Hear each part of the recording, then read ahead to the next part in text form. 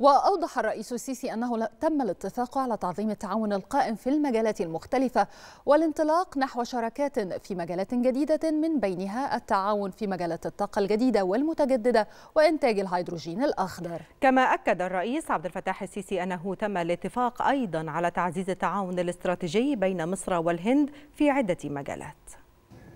ومن ناحية أخرى اتفقت رؤانا على تعظيم التعاون القائم في المجالات المختلفة.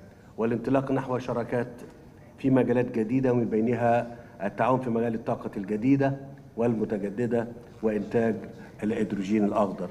واتفقنا أيضا على تعزيز التعاون الاستراتيجي بيننا في عدة مجالات أخرى وعلى رأسها الزراعة والتعليم العالي وصناعة الكيماويات والأسمدة والأدوية وتكنولوجيا المعلومات والاتصالات والأمن السبراني